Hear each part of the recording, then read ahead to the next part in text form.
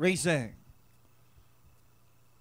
We've got Heroes of Caloocan looking for the lead over Lord Bentley.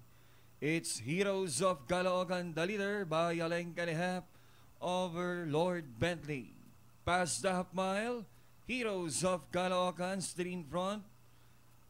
Then remains in second is Lord Bentley. Inside the last 800, it's Heroes of Caloocan leading by about two lengths now over Lord Bentley. Rounding the fourth turn, it's Heroes of Caloocan is still there in front over Lord Bentley.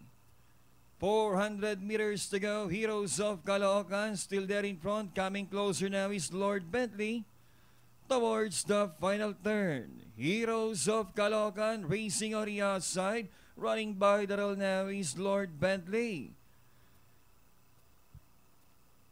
It's Heroes of Caloocan still out in front over Lord Bentley.